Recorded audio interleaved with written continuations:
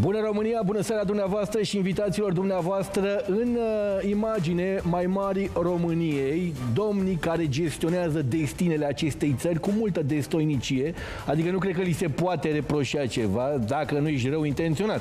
Dacă ești rău intenționat, sigur, găsești tot felul de chichițe pe care să uh, le opui acestor doi oameni care au dus România în situația în care suntem cu un război la graniță, cu o nevoie de stabilitate, necesară stabilitatea foarte importantă, deci practic suntem într-un, uh, într-o stabilitate în aceste momente, dar ce li se poate reproșa, domnule, n-au găsit o doamnă independentă. Asta este, asta este un reproș care li se poate face. Sigur, nu era nevoie de o doamnă independentă. Ei au stârnit această necesitate pentru o doamnă independentă. El Ciolacu, pe domnul Ciolacu l-am văzut arogant, așa, domnule, părerea mea e că trebuie să se deschidă lista de europarlamentare cu o doamnă independentă. Și s-a vorbit foarte mult după ce a zis domnul Ciolacu, cine ar putea să fie. După aia s-a vorbit foarte mult despre uh, doamna pe care au găsit-o și pe care nu știa nimeni, deși ar fi trebuit să o știm, că se ocupa acolo în funcția pe care o deținea de care dispunea erau uh, trecute acolo în fișa postului și relația asta pe care ar fi trebuit să o aibă doamna cu presa, de exemplu. Mă rog, dar s-a vorbit foarte mult despre această doamnă identificată. Băi, s-a vorbit foarte mult uh, despre cine este doamna aceasta. După ce s-a vorbit cine este doamna aceasta extrem de mult, s-a mers mai departe și s-a vorbit de ce nu vorbește doamna, de, de ce nu e grăitoare, de ce nu are are momente de grăitorie, să zicem, de, de grai, de ce nu vorbește, de nu are cuvinte în grai, de ce nu zice nimic, doamna asta. Ulterior, S-a vorbit despre faptul că se retrage exact când trebuia să fie pusă pe listă, exact în momentul ăsta.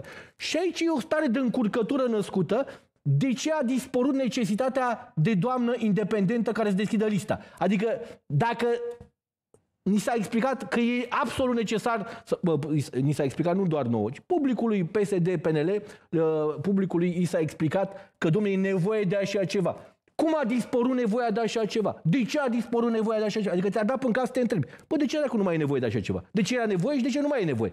Sunt niște întrebări. Și acum stau și mă gândesc totuși ca încurcătură în care ne aflăm, e o încurcătură. Dom'le, oamenilor ăstora pare că nu le iese. Pare că nu se pricep. Adică, dom'le, am vrut, am, ei și-au uh, declanșat această necesitate. Dom'le, trebuie să găsim o doamnă independentă. Și n-au găsit doamna independentă. Pare un eșec. Ba arată eșec arată a eșec. N-am găsit doamna independentă, mergem mai departe ca și când nimic nu s-ar fi întâmplat. Dar, apropo de mers mai departe, ia uite ce avem aici. Să fim proactivi, să încercăm să ajutăm, că așa de criticat e lumea sătură. A zis-o, cine a zis-o? Lumea s-a săturat de critică și de mesaje. De... Hai să construim ceva în România asta, firea la naibii de treabă. Să încercăm să construim ceva în țara asta. Uitați-vă aici. 5300 de euro pe lună. Astea sunt niște uh, mărunțișuri, uh, amănunte. Putem să trecem, da, dacă tot e titlul, hai să-l citim. 5300 de euro pe lună, venit pentru consilierea lui Ciolacu, are 4 case, 300.000 de euro în cont, uh, artă și cutare. E o doamnă, o doamnă independentă care, la data de 20 a 10 pam, acum jumătate de an, la data de 20 a 10 a 2023, era nominalizată pentru ideea dacă citim articolul publicat de către colegii de la Newsweek, descoperim aici, dați, urcați ca să ajungem la uh, șapoul acestui articol uh, important, sigur, se rea suma, mă rog, nu contează, nu mă interesează asta, Opri, opriți aici, uh, venituri lunare pentru Carmen Orban, consilierea lui Ciolacu. Dânsa este consilieră pe problemă de sănătate și ați văzut că domnul Ciolacu este renumit pentru sănătatea sa. Deci în zona asta chiar n-ai ce să... Nu asta. Ea are patru case, nu știu, 300.000 de euro în cont. Oamenii, femeia muncitoare, deci nu asta e ideea și obiecte de artă nu știu ce cutare. Se pare că ea va fi pe un loc eligibil pe listele PSD pentru europarlamentare. Ce mă interesează pe mine? V-am găsit doamnă independentă, ați uitat-o. Dânsa nu s-a înscris în Partidul Social Democrat. Dânsa vine din post. Doamna Carmen Orban. Nu cunoașteți numele. Orban vă spune ceva, dar, doamna, dar vă-l dau eu ca nume, că mi se pare important. O să vedeți de ce. Deci, e, pe un loc eligibil pe listele PSD pentru europarlamentar. Deci nu puneți, domne, să deschidă listele de europarlamentar, să spuneți, păi, da, are legătură cu domnul Ciolacu, stați un pic, e consilierea domnului Ciolacu, trebuie să fie o doamnă independentă. E independentă. La fel de independent este și domnul Cârstoiu, pentru că provin din același loc. Acum ridicați ca să mergem un pic către acest eveniment care dați mai sus un pic cu încredere că e bine ce se întâmplă. Dați, a, opa! Dânsa este, sau era cel puțin la momentul articolului acestuia, era șefa de la ATI de la Spitalul Universitar de Urgență București. Spitalul Universitar de Urgență, unde, aoleu, că am mai auzit de spital. Nu de acolo vine domnul Cârstoiu. Domnule, de acolo ne vine domnul Cârstoiu. De acolo vine și doamna Carmen Orban, care este consilierea. Ce vreau să spun cu asta? Unul la mână. Avem o variantă de doamnă independentă care poate să meargă prima polistă la Bruxelles. Acum spun și eu, nu dau cu parul. Spun și eu, uite, o doamnă independentă are o situație economică foarte bună care uh, cumva implică ideea de succes, ideea de destoinicie. Avem nevoie de oameni destoinici cumva. Bravo, îmi place numele ăsta. Și are, mi se pare interesant, ideea de spital universitar. Bă, fii la naibii de, de treabă. Deci de la spitalul universitar ne-a venit Sorin Oprescu la Partidul Social Democrat. La spitalul universitar vine doamna pe probleme de consilieră, pe probleme de sănătate la domnul Ciolacu Marcel. Și tot de la spitalul universitar vine acest domn independent, domnul Cârstoiu, domnul uh, doctor Cârstoiu, managerul spitalului și așa mai departe. Și atunci stai și te gândești. Bă, nu care cumva, că mintea asta seama că la un moment dat face niște corelații, că așa e mintea asta. Domne, așa e mintea, face corelații. Nu care cumva spitalul universitar este o pepinieră care livrează pentru PSD tot felul de candidați și atunci domnul Cristoiu e mai degrabă din partea Partidului Social Democrat, nu din partea PNL-ului? Că te întrebi. Te întrebi. Să te apucă, te iau întrebările. Domnule, cum a apărut domnul Cristoiu? Și dacă stai să iei așa la mână cronologia, descoperi în felul următor. Dacă îi întrebi, uite, o să discutăm astăzi, cel puțin așa a promis că intervine în cadrul emisiunii de astăzi domnul Aleș Bogdan. Mi-a de cuvânt. Uh, dacă îi întreb, zic, domnule, a fost o decizie uh, a ambelor tabere, și PSD și PNL cu toții am decis, pare așa că a fost o chestie în același, în, în, în, în concomitență, în cor, au zis. Domnul Cristoiu. Doar că noi știm că domnul Cristoiu a apărut în, această, în acest plan, care, iată, repet, e gata să devină primarul capitalei, uh, a apărut pus pe listele de sondare ale Partidului Social Democrat. Deci Partidul Social Democrat este cel care, domnul Ciolacu, cum e dânsul așa mai arogant, așa cel puțin în ultima vreme, a zis, Domnul Cristoiu a măsurat și pe domnul Cristoiu. PNL-ul nu l-a măsurat pe domnul Cristoiu. PSD-ul l-a măsurat. Deci este o propunere a PSD-ului. Și acum te întrebi, domnule, ce se întâmplă cu primarul capitalei, cu Nicușor Dan susținut de PNL?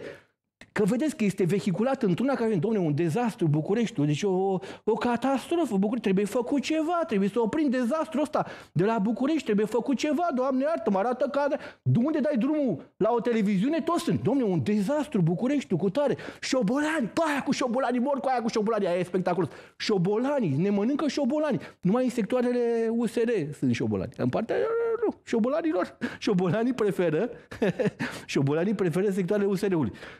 Sigur, e un pic stupid să-i spui omului că colcă e șobolani și să dai într-una în buclă același șobolan de patru ani. Bă, dacă colcă e, ieșim acum pe stradă că suntem în sectorul 1, descoperim un șobolan, ceva, dau șobolani într-una peste noi dacă colcă e șobolanii, nu? Adică e un pic stupid să-i spui omului că colcă e șobolanii și le iese afară și nu vede niciun șobolan. Bă, ne-ați promis șobolani, ne-ați promis o doamnă independentă pe listă, ne-ați promis șobolani, unde dracu sunt șobolani, unde e doamna independentă de pe listă? Te întreb, nu, sunt întrebări.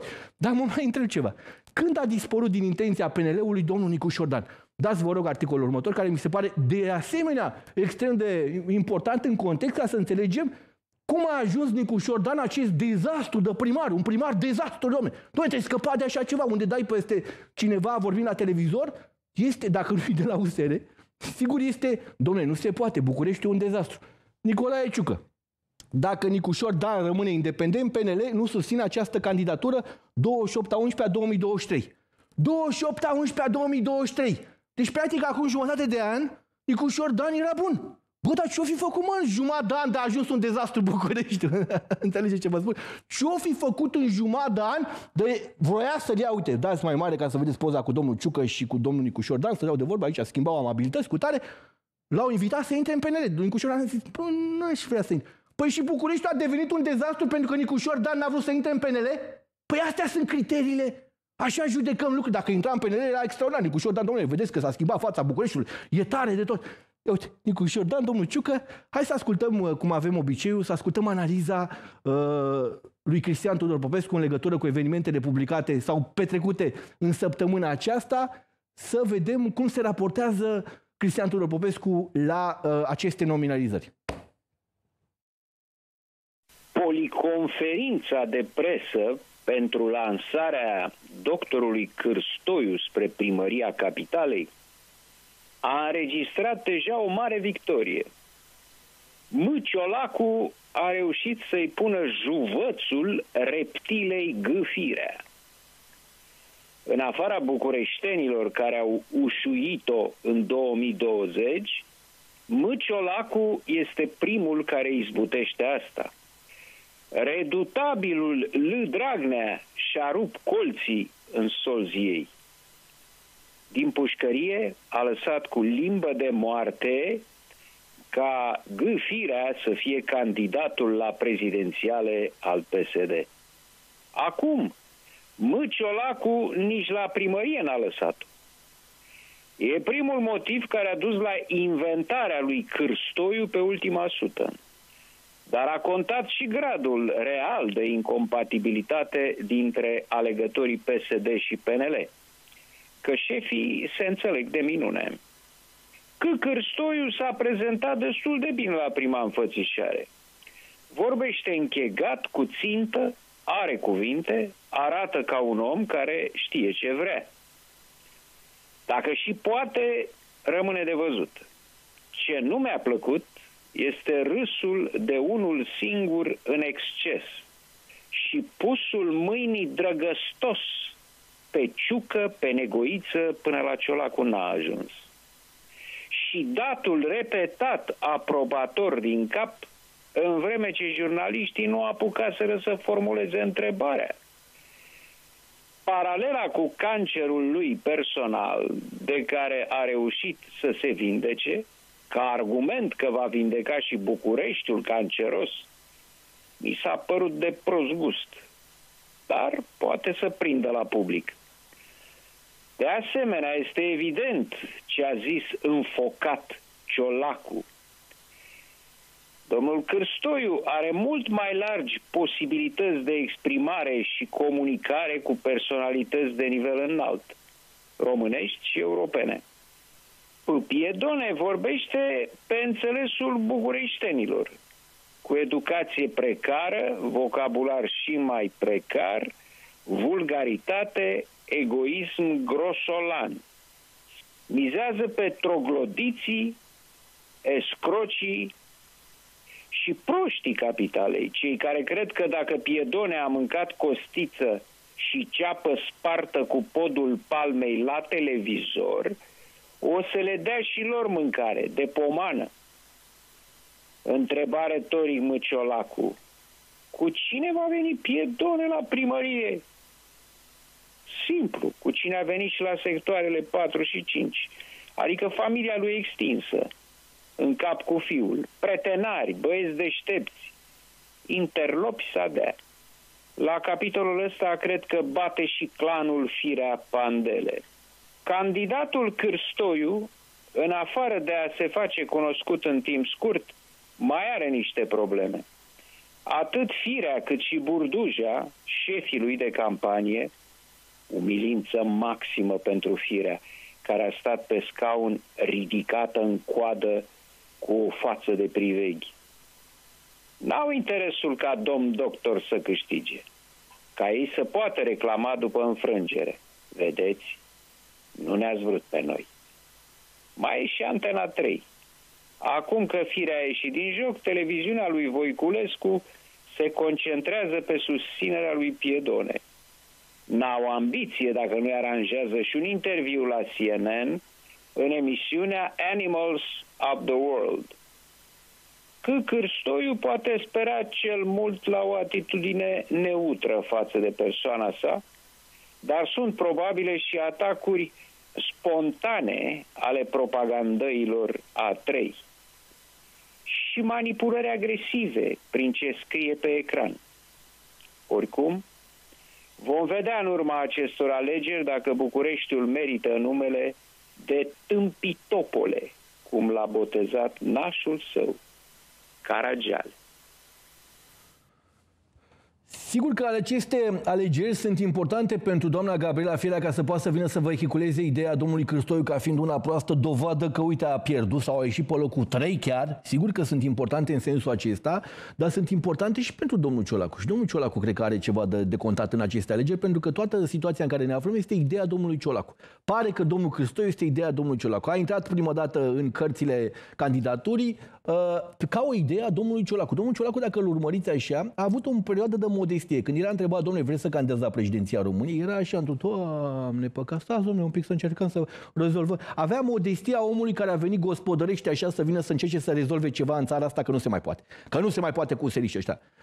E, acum vedeți că are și o soi de înfoială de asta când vorbește, dacă îl remarcați așa. L-ați văzut cum l-a expediat pe Piedone, care e un, sector, un primăraș de sector. E un mic conflict acolo, să vedem cât de natural este el, dar oricum atitudinea este una clară. Are atitudinea omului care s-a îmbrăcat în funcția în care este și privește cu superioritate la toți, la toate întâmplările astea din jurul său ca fiind ceva inferior. Haide, domne, că domnule s-a întâlnit cu Netanyahu, se știe cu Netanyahu, a fost acolo, s-a dus încolo, a venit cu... Deci are deja o înfoială a unui lider. Și am mai văzut înfoiala asta undeva și poate că e important să-i aducem aminte domnului Ciolacu, unde am văzut-o, pentru că l-am văzut pe protestatarul Ceaușescu identificându-l pe celălalt înfoiat care era într-o stare de importanță de asta la alegerile precedente europarlamentare. Uite, de exemplu, domnul Liviu Dragnea iscat undeva pe un hol, stătea și sprijinea un perete ca un pieton care veni să depună mărturie pentru domnul Bănicioiu într-un proces de genul ăsta la prins protestatarul Ceaușescu.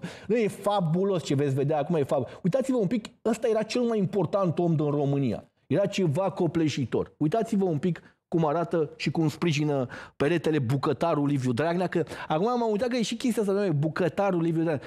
Am văzut că cei de la Gașca Azul au rămas fără bucătar, domnule. Eu, l-aș, eu m-aș gândi dacă aș fi în locul. Aș lua în calcul chestia. De ce nu? Liviu Dragnea, și Liviu Dragnea. Hai să vedem. Ce mai faceți, domnul Dragnea? Cum sunteți? Sunteți bine? Cum e cu bucătăria? Bucătari excelent sunteți. Ați lăsat bucătăria, nu? Și acum cu ce vă ocupați? Că asta erați unul dintre cei mai puternici politicieni. După aceea ați căzut brusc, că asta este, ați fost bucătar, știți unde ați atacat pe toți cei care v-au fost aliați, după care v-au trădat. Am observat asta. Dar acum, cu ce vă mai ocupați? Oamenii vor să știe. Se poate să-mi spuneți? Cu ce vă mai ocupați? Nu. Mulțumesc. Vila aceea pe care o aveți pe două străzi, cum v-ați realizat-o? Știu că e de râs, dar toți românii așa spun, că v-ați făcut o vilă... Ești numele tuturor românilor? Nu, eu și a altor prieteni. Știți? Ai, controlat, ai auzit de Agenția Națională de Integritate? Ani, ani. Ai auzit, nu? Da. Șase ani au controlat. Și nimic. Sunteți un om curat, v-ați făcut vila conform legii fără să o încălcați, nu? Așa spune instituție. Mulțumesc, așa este. Știu, știu, stai, stai, stai. Da? Gata. Dar ultima întrebare. Și dacă, hai să-mi răspundeți. Vedeți că condamnarea dumneavoastră a fost legală sau a fost un dosar politic? Dosar politic. Pentru că totuși într-adevăr o condamnare pentru un dosar prea mizerabil, dar la câte s-au făcut înainte. Totuși, ați fost vicepremier, ministru și omul care era cel mai puternic în politică. Știu că ați spus odată un lucru. Știu. Uh, uitați cine. Uh, știți că acum o lună am întâlnit pe fostul prieten al noastră Codrin Ștefănescu care v-a acuzat că ați fi haicut în partea lui Coldea. Cum îi răspundeți?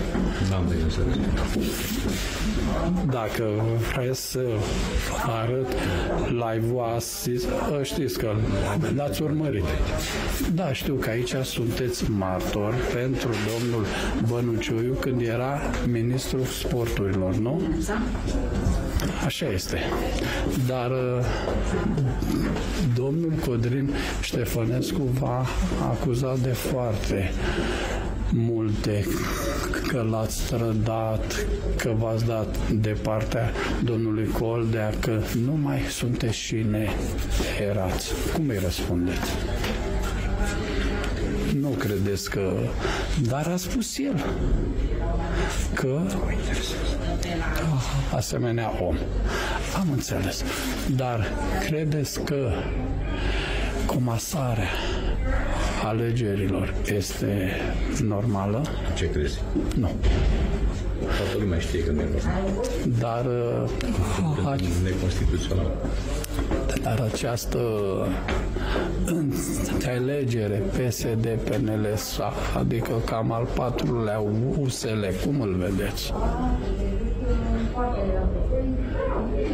Că Am venit să dau interviu. Da, da, nu dați interviu, răspundeți și mie la niște uh, întrebări pe care... Dar nu mai țip ca afară. Păi, af- păi nu, aici sunt Aici ești civilizat, afară este altceva, domnule. Bine, e suficient pentru asta. Mulțumesc și atunci îmi dați altă dată răspunsuri?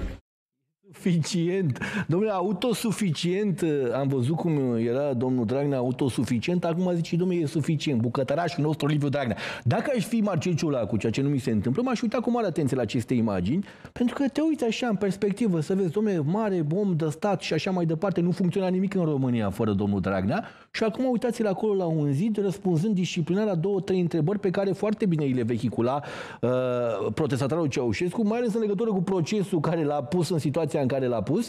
Uh, Procesul, sigur, domnule, acuzația e măruntă, dar e un favor care i s-a făcut, adică el putea fi acuzat de niște lucruri importante și totuși, uite, a fost acuzat doar de niște chestii mărunte, ca un favor că acum să poată să se perindă pe la toți felul de pereți de genul acesta, lăsând impresia de dosar politic. Dar mie mi-a plăcut momentul în care a invocat agenția ANI, când a fost întrebat de casa aia mare de care dispune, le a zis, domne, ma, dar n-am înțeles exact, pentru că, nu știu, și sonorul era un pic uh, deficitar, el a zis, șase ani m-a controlat ani sau șase ani am controlat ani? Pentru că această agenție e una extrem de suspectă. Este ceva de care dispune Partidul Social Democrat, care odată te trezești că face un anunț, odată te trezești că face, că remarcă niște lucruri, dar niciodată nu deranjează pe membrii Partidului Social Democrat. Niciodată n-am văzut să deranjeze, să vină cu un deranj la adresa, adică e atât de... Dom'le, oamenii ăștia poate sunt atât de integri încât n-ai ce să le faci, pur și simplu. E, în momentul în care e nevoie de așa ceva, începe această Agenție Națională de Integritate. Și ați văzut că la Piedone, a început un pic Agenția Națională de Integritate, uh, a venit cu niște acuzații care mai degrabă l-au victimizat pe Piedone. Dom'le, dacă vreți să discutăm despre Piedone, care am văzut că este în continuare în primele preferințe ale bucureștenilor, așa este el vehiculat, Hai să aruncăm o privire la această imagine emoționantă a face circulă această poză pe internet. Doamne, iartă-mă, ce, să, ce poți să faci? Te lovești de ea. Unde te duci de ea? Afacerea familiei Piedone. Nepotul lui Piedone, trebuie să ridicați ca să pot să citesc, nepotul lui Piedone, George Cârlogea, consilier local sectorul 5. Ginele lui Piedone, Șerban Andrei, consilier local pe USL la sector. Și ăsta consilier, da? Mai departe, hai să vedem. Nepotul lui Piedone, Iulian Cârlogea, administrator public al sectorului 5. Bă, asta e o familie politică, mă. Deci cum ai acolo la Bruxelles, familia politică, nu știu ce, PPE, nu știu ce, socialiști, așa e familia politică Piedone. Ia uite, nepotul lui Piedone, Viorel Cârlogea, adjunctul poliției locale Sector 5. Mai departe. Andreea Cătălina Cârlogea, șef serviciu, cine? Da, ridicați ca să văd cine e doamna, șef serviciu de, al Direcției Administrative din cadrul primăriei sectorul 5. Sunt convins că dacă mai faci o mică investigație, mai descoperi. Băiatul domnului Piedone, un renumit parlamentar, Partidul Social Democrat. Bă, pare că asta își doresc românii. Deci dacă, sau bucureșteni cel puțin, dacă omul ăsta este pe primul loc în sondaje, ce îmi spune mie treaba asta? Spune, domnule, bucureștenii își doresc pe unul de să-și pună în, în funcții în, în, cadrul, uh, în cadrul locului pe care îl gestionează familia. Unul la mână, doi la mână. Își doresc bucureștenii pe unul de să facă niște filmulețe amuzante când cade în fund cu, uh, plimbând o roabă. Asta își doresc bucureștenii. Asta îmi transmite mie acest sondaj sau aceste sondaje, asta îmi transmit, că domnule, asta își doresc bucureștenii. Și în timp ce, ce mi se pare cu adevărat spectacol, omul ăsta dispune de o televiziune unde apare non-stop. E, la televiziunea aceea este vehiculată într-una ideea Nicușor Dan care n-a făcut nimic. E, ați auzit-o și noastră? Nicușor Dan care n-a făcut nimic. Dați, vă rog, imaginile Că ce e spectaculos, că așa a făcut, domne, să fie viața. Asta e viața, n-ai ce să-i faci. Așa a făcut viața să fie lucrurile, dați vă rog imaginile, cu linia de tramvai. Deci ca să ajungi la acea televiziune unde oamenii vin și vă spun că Nicu Șordan, care n-a făcut nimic susținându-l pe individul acesta care și-a terminat liceul la 32 de ani, ia uitați un pic imaginea asta. Merge așa pe drum încolo și dacă vedeți undeva aici, este în spate undeva, este sediul acestei televiziuni, da? În timp ce merg acolo invitații, trebuie să tragă de acest șantier imens unde se reabilitează pentru prima dată în 30 de ani dita mai linia acestui tramvai 5. Poate dacă nu trăiți în București, poate nu vi se pare relevant, deci este un tramvai care taie Bucureștiul, pur și simplu. Se reabilitează linia și ei au de-a face cu acest șantier, după care vin la televizor și vă spun, Budicușor, dacă care n-a făcut nimic. Băi, traversează acest șantier în timp ce zic că n-a făcut nimic. Dai seama totuși ce rușine mare ca om să traversezi un șantier care, uite-te și tu ce se întâmplă acolo, e o lucrare mare de tot, ca să ajungi aici unde e televiziunea, traversezi acest șantier și te duci băi, Nicușor, dacă care n-a făcut nimic. Băi, e o rușine mare ca om să ți se întâmplă așa ceva. Să fii pus în situația asta. După care ce mai e spectacol? Dom'le, traficul din București îngrozitor. Păi cine dracule a dat aici aceste autorizații de construcție pentru aceste șosea, pentru, pe, de, de clădiri iscate în dreptul acestei șosele care a rămas la fel? Ei era așa și pe vremea E aceeași șosea, acolo am trăit toată viața. Deci e aceeași șosea. Ia uitați ce s-a întâmplat în zona aceasta a sectorului 1, ce, ce clădiri imense de blocuri s-au iscat, după care oamenii care au dat aceste autorizații vin la televizor și spun, domnule, traficul este îngrozitor, nu se poate. Păi ce să faci, mă, dacă ai construit turnurile astea, finale de dracu de turnuri? Dacă le-ai construit, ce poți să faci? Cum poți să, de, să rezolvi o situație de genul acesta? Nu, mi se pare, totuși, trebuie să ai un pic de bun simț elementar mental să te potolești, domnule, cu prostii astea. Adică n-ai cum să rezolvi traficul când ai construit în halul în care vedeți că s-a construit acolo.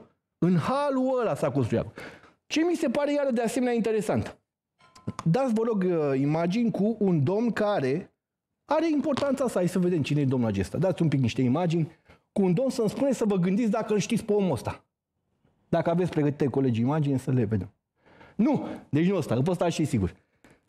Dați, vă rog, imaginile cu domnul acesta. Da, ăsta este. Dați mare și pe ecran să vadă televiziunea. Îl știți pe omul ăsta? Știți cine e? Vă las așa să vă gândiți, să vă uitați la el, să-mi spuneți dacă îl recunoaște, dacă îl știți. Nu? L-ați mai văzut vreodată până acum? E prima dată, sunteți la prima întâlnire cu domnul acesta? Nu știu, uitați-vă un pic la el, poate vă vine ceva, poate vă stimulează în vreun fel aceste imagini, poate vă vine ceva aminte când îl vedeți. Unde l-ați mai văzut pe omul ăsta? Vă spun eu, nu l-ați mai văzut nicăieri, nici nu știu să vă spun cum îl cheamă. Este candidatul la primăria capitalei din partea celor de la AUR. Așa s-au gândit ei. Zic, uite, hai să-l punem pe... Nici nu, nu știu, știu să vă spun cum îl cheamă. Deci mă pot strădui să vă spun cum îl cheamă, dar nu știu să vă spun cum îl cheamă. Dacă aveți colegii un numele să... Mihai Enache. Na?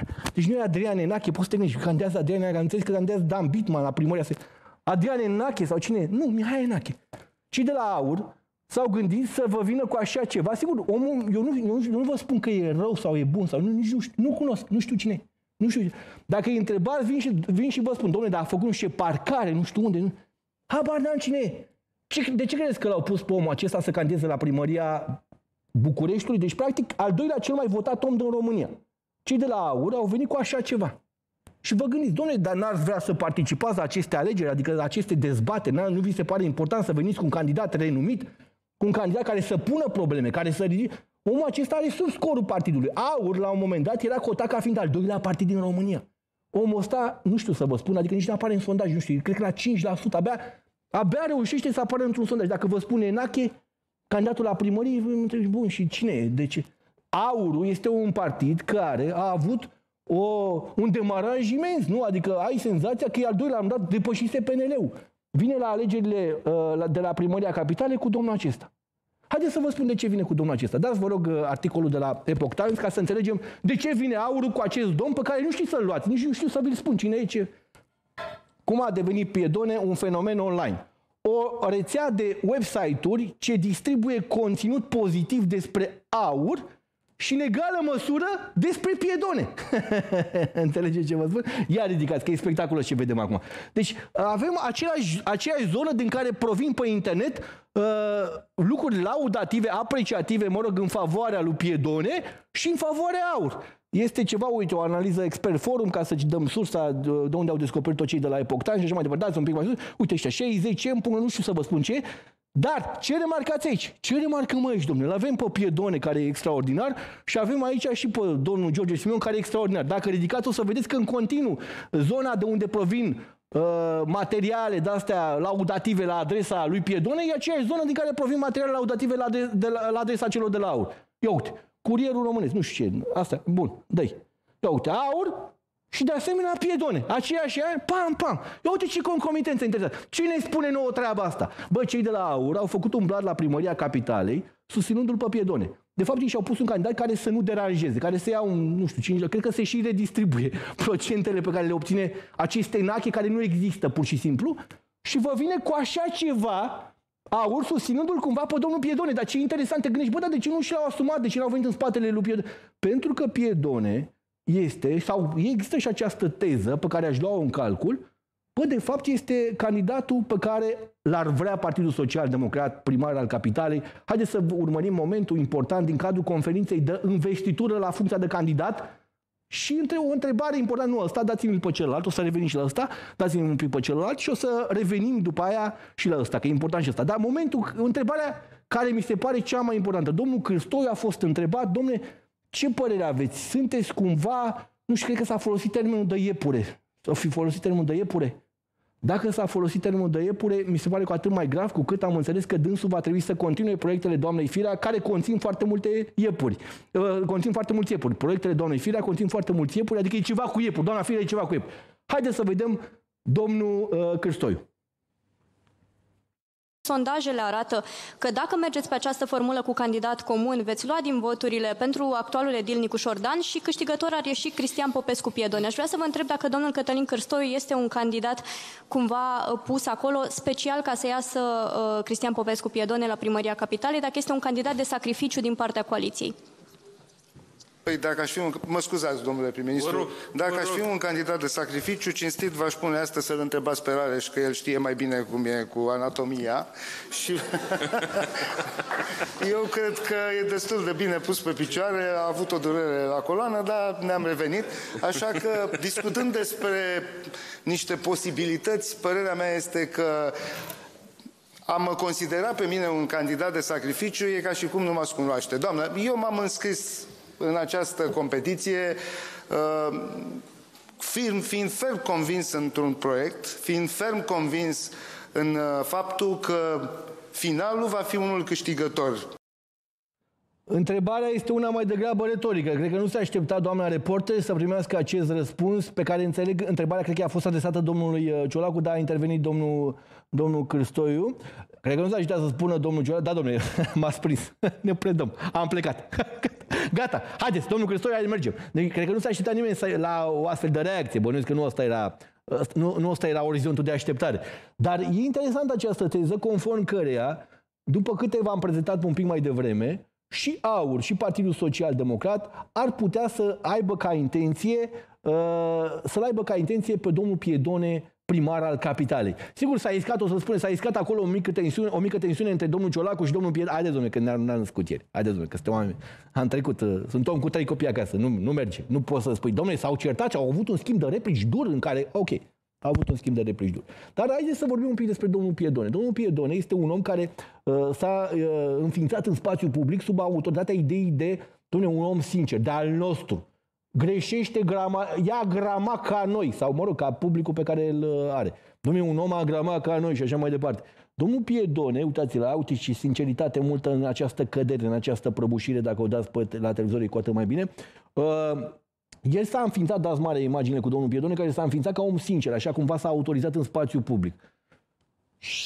Și haideți să ne aducem aminte cum este domnul Piedone un om sincer. Domnule, eu vă spun că e un pic ridicol, adică e un pic ridicol să-l asociez cu ideea de sinceritate pe unul de vine și îți spune, se jură. Domnule, am ajuns la, la Dumnezeu cumva, de, mă, e un moment biblic acolo, da? Că nu va candida, după care într-o mare manieră extrem de festivă vine și spune că va candida. Hai să vedem. Piedone, clar, vertical, și beat și trez, Piedone nu candidează nici la președinție, nici la primăria capitalei. Punct. Așa să-mi ajute Dumnezeu. Am 30 de ani de administrație. Eu zic că biologic mi-a venit rândul. Raportat la experiență. Voi candida la primăria capitalei. Mie mi se pare consternant. Adică nu știu cum vedeți dumneavoastră viața, cum vedeți lucrurile, cum vedeți uh, apucăturile de genul acesta. Am văzut că sunt oameni care, văzându-l pe unul că își face cruce, gata, deja pare îmbisericit. Bă, unul creștin, dar al nostru ortodox, trebuie votat, e un om sincer, un om de care avem nevoie, un om ca noi. Unul omul și-a făcut cruce, nu doar că a simțit nevoia să autorizeze această necandidatură cu o cruce, făcând un legământ cu Dumnezeu și după care câteva luni mai încolo, domne, e momentul să candidezi la primăria capitală. Hai să vedem încă o dată. Dacă aveți pregătit material. Dacă nu... Clar, vertical și beat și trez Piedone nu candidează nici la președinție, nici la primăria capitalei. Punct. Așa să-mi ajute Dumnezeu. Am 30 de ani de administrație. Eu zic că biologic mi-a venit rândul. Raportat la experiență. Voi candida la primăria capitalei. Îți vine să-ți faci cruce de invers, adică în sensul că Doamne ferește de așa ceva, adică te gândești, Doamne ferește de așa ceva. Un om vine și face cruce și zice ca un legământ pe care îl are cu Dumnezeu. Cuvântul meu e cuvânt. Dacă zic așa, așa se întâmplă. Trei luni mai târziu. Da, știu că am zis, da, da, da, da, da, Atmosfera este una siderantă în legătură cu țara asta, pentru că îi veți vedea pe oameni extrem de îngrijorați când mai apar testele alea PISA, apropo de înclinările, înclinațiile astea pe care le are cuvântul unuia și altuia, uh, vor apărea testele PISA și veți vedea figuri de oameni îngrijorați, îi veți vedea la televizor pe toți căzuți în stare de îngrijorare și moraliști. Ce se întâmplă? Unde merge mai departe cu educația? Educația, educația, educația. Îi veți vedea uh, într-o stare de asta cum să zic, dojenitoare în legătură cu învățământul. Îi veți vedea îngrijorați până la capăt. Deci din capăt, dintr-un capăt în altul. To- veți vedea figuri de oameni, ți-ai făcut ceva cu... Se alege praful de educație. În timp ce ei merg, parcurg acest drum pe care vi l-am arătat un pic mai devreme, traversează un șantier, se duc la televiziunea care este aici să spună că nu face nimic Nicușor, dar în timp ce stau în trafic, un traficul iscat de șantierul ăsta, domnule, nu face nimic Nicușor. Da? Și susțin un individ care și-a terminat liceul la 32 de ani, înjurându-l pe ăla de era în primii 10 matematicieni în generația sa, Olimpii la și apoi apar cu fețele astea, ați văzut cum erau căzute, așa erau terminați toți când a venit testele PISA. Domne, ce facem cu educația din România? Ce se întâmplă? Păi când aveți pe un olimpic, îl înjurați și îl susțineți pe unul de și-a terminat liceul la 32 de ani, care nu e în stare să-și ducă o idee de la un cap la altul, fără să comită 3, 4, 5 greșeli de gramatică înghesuite într-o frază. Și după aia vă mirați, nu știu dracu ce să facem cu, cu, cu învățământul ăsta, naiba stăliat, nu știu ce să mai facem, că e, e tragedie. Păi el susține, spune agramat, bă, deși a terminat liceul la 32 de ani. Luăm o scurtă pauză și ne întoarcem. Bună România!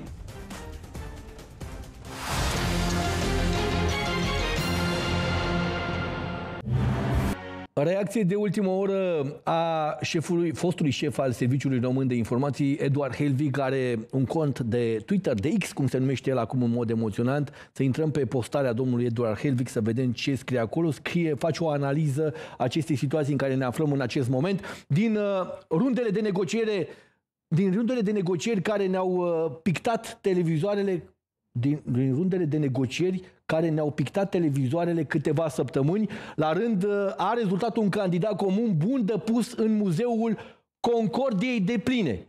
Are, are condei. E, am mai, știți că am mai scris. nu sperie și nu deoache pe nimeni. Dacă ne întrebăm pe cine reprezintă, ridicați ca să pot să știți, cu adevărat, cred că răspunsul este în propoziția precedentă, iar chestiunea cu adevărat semnificativă este de ce ai renunța la candidați cu cifre bune pentru a-ți investi încrederea în cineva cunoscut doar în comunitatea medicală, cunoscut doar în comunitatea medicală. Asta e o întrebare bună. De ce ai renunțat la... De unde vine oare încrederea de plină în apoliticul perfect, pus între ghilimele, pentru a fi trimis să extragă voturi și din stânga și din dreapta. De se ști... Ce se știe sus și nu se spune și în aval. Ce se știe sus și nu se spune și în aval. Știm sigur că nu e vreun sondaj, vreo măsurătoare sau vreun portret robot de tehnocrat al urbanismului, zice Eduard Helvig. Ni se propune, ridicați mai mult, dai, dai, dai, dai, dai, ca să cim. Dai, dai, dai, dai, ridică, ridică, ridică, așa. Ni se propune un independent scos din joben să ne salveze aparent de agonia dubilor ideologice. Total întâmplător vorbeam tot aici cu trei săptămâni despre, în urmă cu trei săptămâni, despre independenți. Oamenii noi nu au însă nimic de pierdut, nici o carieră de apărat, nici o reputație de păstrat. Când spectacolul începe să fie fluierat, își iau trusa de machiaj și își văd mai departe de drum. Probabil că cei care l-au ales se bazează pe ceva nevăzut și neștiut, încât nu-și suspectează candidatul care viza mai târziu uh, fie o prea mare independență, fie o poziție publică și mai importantă. Probabil, uh, probabil îl leagă un bromens de nezdruncinat. Mă rog, cum electoratul poate alege doar din cei pe care are pe listă și nu dintr-un uh, infinit de candidați, potențial contează așadar ce ofertă îi se aștene pe buletin, că trăim această situație. Îi se pun două variante, Iohannis, doamna Dăncilă. Tu zici, doamne iartă-mă, Iohannis. După care sunt scoși ochii, păi voi l-ați vrut pe Iohannis. Înțelegeți ideea? E o situație, că asta cu democrația are și a limitele ei. Că tu practic alegi din ce ți se livrează, nu poți să vii tu cu o idee în plus. Brus devine mai relevant să fii candidat decât să fii un uh, candidat care adună votul. De a aduna votul se ocupă ceilalți candidați sau partidul, sau prietenii, sau nu știu ce. Mă rog, este o explicație pe care o furnizează aici Eduard Helvig pe uh, pagina sa de, sau pe contul său de, de X, de Twitter. Ce este interesant este că până la urmă domnul Cristoiu, în momentul când eșuează, dacă va eșua, dacă nu va ieși primarul capitalei, Uh, sigur, el se va întoarce în funcția de care dispune și unde sigur că a făcut, înțeleg, performanță. Nu are nimic de pierdut. Te gândești, păi da, da, va pierde domnul Ciolacu. Nu, va zice, domnule, am vorbit cu domnul Ciucă împreună, ne-am adunat aici cu tare, suntem uh, sub aceeași autoritate a deciziei. Vă zice, păi da, da, șefa de, de campanie, doamna Firea. Dânsa va avea de... Doamna Firea zice, păi dacă l-a spus pe domnul Cristoi, ce doamne iartă mai să fac? Eu aș fi făcut mai mult, dar voi ați ales să fie. Deci, practic, va fi, ar putea să fie un eșec pe care să nu-l deconteze nimeni. În România există această stare cumva de a reuși să rezolvi problema în sensul în care să nu par de vină. Deci când se întâmplă ceva, se intră în această procedură de urgență, domne, unde să plasăm vina, cum să reușim să ne disculpăm. Altfel, în momentul când îți asumi funcții importante în statul român, vă împoie capul ăștia cu ideea de responsabilitate. Ne-am asumat responsabilitatea. Responsabilitatea venirii mașinii în fața blocului, în fața casei, în fața locuinței, responsabilitatea succesului financiar, responsabilitatea importanței funcției, că toată lumea se învârte învârte în jurul tău și tu pari Dumnezeu. Ce responsabilitate e aia, mă? Și acum, haideți să-l vedem pe un domn responsabil, dar nu e responsabil de România asta, pe care o trăim acum. Nu e responsabil. Adică nu îi se impută lui România. Domnule, el a făcut ce... Adică nu ai senzația că Iohannis e de vină. Nu trăiți impresia asta. Domnul Iohannis acum participă la acest concurs de frumusețe la NATO. Trebuie ales între dânsul și domnul Rute. Înțeleg că domnul, domnii din Slovenia ne-ar susține, au băgat capul în poză și domnule, mergem pe domnul Iohannis este ce trebuie pentru acolo la NATO. Problema care se naște din ziua de astăzi și vă spun că e o problemă mare, unul dintre argumentele cu care defila domnul Iohannis în această conjunctură de devenire, a, uh, de devenire a, în postul ăsta de secretar general NATO era ideea că noi dăm 2,5% din PIB pentru apărare. Deci păream așa, într-un concurs cumva la școală, aveam batistuțe, aveam tot ce ne trebuie, domnule, nu eram pregătiți, în timp ce erau niște mucoși olandezi, ăștia, țările de jos, că se numește, ele sunt de sus, dar sunt de jos, îi vedeai deja mucoși la nas, n-aveau batistă, n-aveau, noi eram toți, aveam nasul suflat tot. Și apare azi o informație care dă peste cap calculele hârtii și zice așa, că că Anul trecut am cheltuit pe apărare 1,6% din PIB, noi trebuie să cheltuim 2,5%. Noi așa ne-am asumat că vom cheltui 2,5. Dar am cheltuit doar 1,6, am fost mai economicoși cu zona asta de apărare, dar era un argument extrem de bine stabilizat pentru domnul Iohannis. Vă aduceți aminte că l-au luat la Casa Albă, acolo, la Donald Trump, i-au dat șepcuță, l-au aplaudat extraordinar. Uite, România, spre diferență de Germania, cheltuie cât s-a angajat că va cheltui din PIB. Pentru NATO e foarte important, sigur că te apără americanii, dar trebuie să te apere și tu, cumva trebuie să contribui și tu la tot acest sistem global de apărare. Dom'le, 1,6% din PIB în condițiile în care noi avem și o echipă de fotbal pe care o susținem din banii ăștia armatei. Noi avem o echipă NATO. în Liga 2 joacă, joacă mingea niște băieți Dom'le, echipă NATO, da? O susținem din banii ăștia, din bugetul ăsta de 1,6 din PIB, am dat bani și acolo. Le-am susținut și niște jucători. Au dat goluri, au, fost, au, dat, au dat cu șutul minge, au fost tare de tot acolo. Doar că noi avem această situație și l avem pe domnul Iohannis care are acest necaz acum. Poate trebuie să cheltuim mai mult anul ăsta. Poate trebuie să compensăm. Ca o lege a compensației, om trăi și om vedea. După o scurtă pauză. Ne întoarcem aici la fața locului cu această ediție de vineri, ediție spectaculoasă, așa cum uh, am uh, obișnuit. Cu Răzvan vă întâlniți duminică seară într-o ediție specială.